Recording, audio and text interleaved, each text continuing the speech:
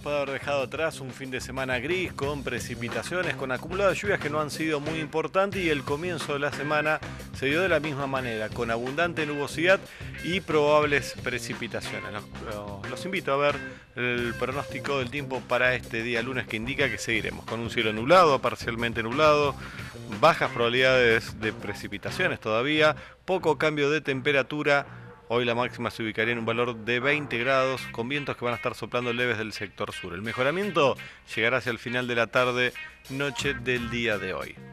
Pasando a ver ahora el pronóstico extendido, vamos a tener un día martes en el cual tendremos buenas condiciones de tiempo durante este día, poca, poca nubosidad.